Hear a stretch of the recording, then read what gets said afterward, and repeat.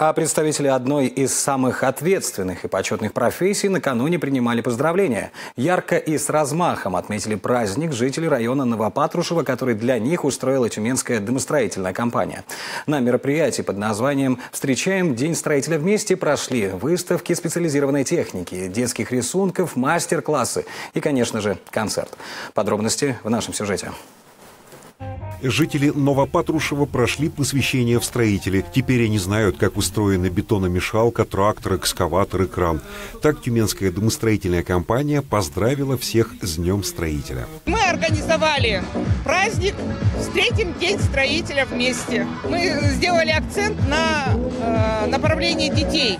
Они разрисовывают воздушных змеев, они разукрашивают броши и значки.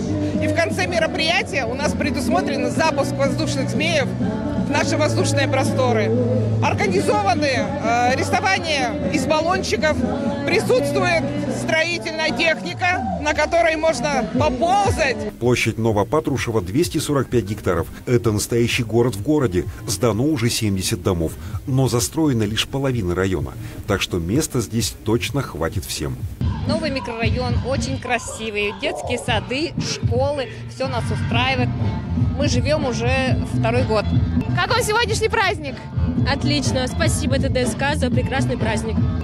Много различных площадок. Ребенку нарисовали аквагрим, участвовали в конкурсе, почти выиграли холодильник.